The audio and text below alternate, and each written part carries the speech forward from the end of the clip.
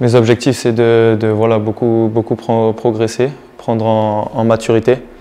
Et, voilà, après, avec l'équipe, c'est d'aller chercher les. Euh, d'aller atteindre nos objectifs euh, tous ensemble. Je connaissais, euh, Zaidou, qui était, qui était à Bordeaux avant.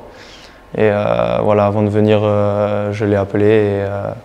Et, voilà, c'est ce qui m'a permis de, de me, me, conforter dans mon choix de, de, venir à Famalicao. Bien sûr, je sais que, je sais que Famalicao euh, aime, faire jouer aime faire jouer et compte sur des, sur des jeunes joueurs.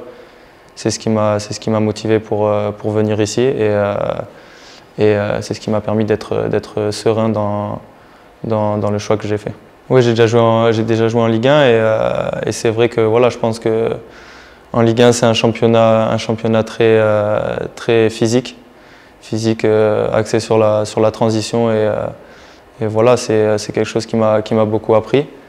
Et je pense que de venir ici, c'est quelque chose qui va être primordial pour ma, progression et pour, euh, m'affirmer. Je pense que je suis, un, joueur qui joue pour l'équipe. J'assure un, équilibre et je suis, quelqu'un de, généreux.